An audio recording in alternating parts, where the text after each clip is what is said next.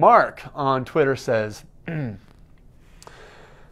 How do the CMA and CFA exams compare to the CPA exam?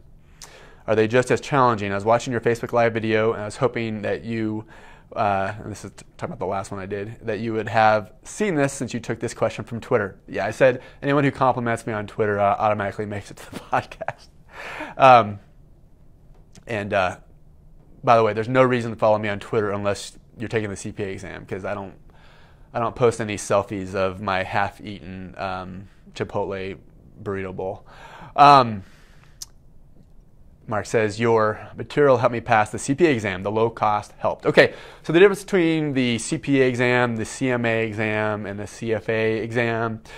Uh, I've often said that the, the CMA is like BEC on crack. So um, the the CMA is a very difficult exam, and um, so I, I, have a friend who is a CPA, CMA, CIA, uh, has an MBA, and um, he's not an EA, but he said that the CMA isn't as hard, but it it definitely takes a lot of work, and so um, I mean it's, it's, it's no joke.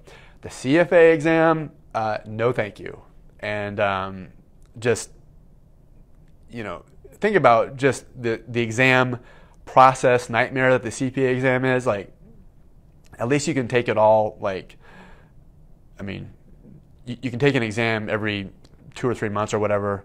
The, C, the CFA exam is all sorts of jacked up in terms of like scheduling and everything. And I would want no part of it, especially after passing the CPA exams. Like, no, thank you. So, um, so I don't know if that's a real enlightened answer, but uh, CMA makes a lot of sense after taking the after passing the CPA exam, and I, I think that you'll get a much higher return on your investment becoming a CMA after taking the CPA exam than like getting an, an MBA. I mean, like um, we're not going to get into the to MBAs because I'll I will piss off anyone who has an MBA.